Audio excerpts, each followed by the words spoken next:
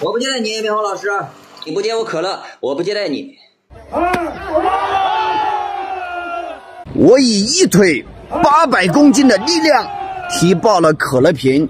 我都问你接不接？大家好，欢迎来到搏击相对论。喜欢的朋友可以点击一下关注，第一时间获取最新的精彩资讯。今天咱们继续看大型电视连续剧《寸拳风云》系列。今天是二零二四年的三月十三日，离妙峰打假老顽童的动身日期三月十四日还剩下一天的时间。这几天我个人有点事儿拖更了，刚忙完，期间也发生了很多事，就是老顽童明确回应不会接待妙峰，并且老顽童给出了一件理由，把妙峰给拿捏了，搞得妙峰现在很被动。我们。先来看一下事情的经过。众所周知，妙峰的腿法非常厉害，他曾经用腿法 KO 或者 TKO 过几位武林人士。问题就出现在了他这个腿法上。我们先来看一下老顽童的态度。老顽童在直播间接水，应该是妙峰来到了老顽童的直播间，和老顽童沟通拜访的事情。老顽童看到以后，明确表示不需要，我不接待你啊，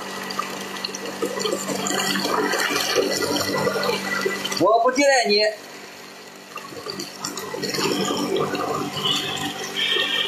我不接待你啊！一连说了好几个，我不接待你，咱也不知道到底说的是谁啊！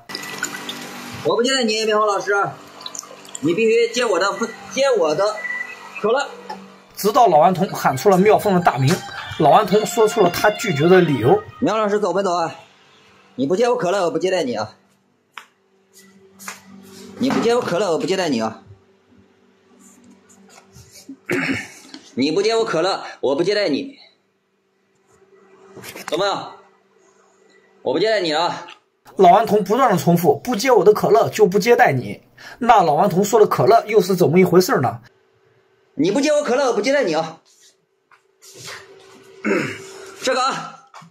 经过我的多方查阅，时间回到二零二三年的四月七日，妙峰两边腿踢爆了可乐瓶，引起了现场吃瓜群众的欢呼。对于妙峰踢爆可乐瓶，很多网友表示，任何人都不可能踢爆，如果踢爆了，就绝对动了手脚，并且也有网友表示，妙峰踢爆可乐瓶肯定是假的。然后时间来到二零二三年的四月九日，也就是两天以后，妙峰为了证实自己的真功夫，再次踢爆可乐瓶，并且表示，谁不信可以随时现场检验，踢爆一个。给我一千，这句话我的大脑短路了。然后时间来到二零二三年的四月二十二日，妙峰表示自己一腿八百公斤很难找到对手。我以一腿八百公斤的力量踢爆了可乐瓶，现在上擂台已经找不到对手。好了，现在大家都知道老顽童口中的可乐瓶是怎么回事了吧？因为很多人认为以人类的力量根本不可能踢爆可乐瓶，但是妙峰却踢爆了，这就是老顽童拒绝的理由。你不踢我可乐，我不接你。你要踢了，我去请锣鼓喧天，鞭炮齐鸣。好，不不不不不不不，你放心，我不会接你的。哎，我不接你的，你放心，你放心，我不会接你的啊。啊，我不会接你的，你来不了，你来不了，你不提我可乐，我接你干啥？如果妙峰执意要去，老顽童表示。妙峰来不了，因为农村人比较护窝子。我们来听一下老顽童介绍什么是护窝子。因为我们这个农村人啊，他护窝子。什么叫护窝子？知道吗？只要你来，不要多，一分钟有五十口人过来问你干啥的。哎，懂不懂？我们村里人护窝子，不像城市人关着门，大家都是你不见我见。我们这儿只有一个动静。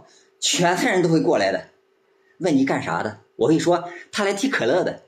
人家说：“哎呀，你踢给大家看看。”你不踢，人家都失望了，人家都想看这个豁子。我能理解为威胁的意思吗？那如果妙峰说是来拜访你的，又会是怎样的后果呢？啊？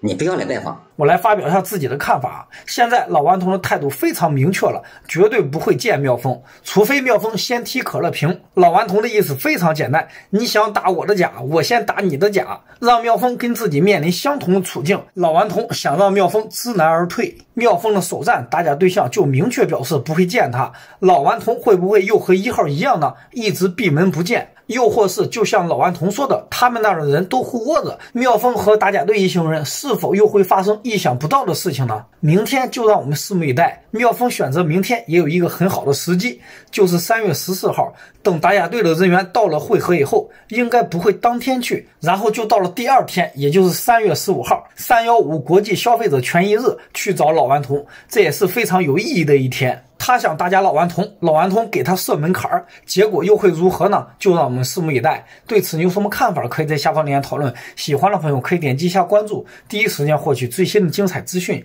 下期节目更精彩，谢谢大家。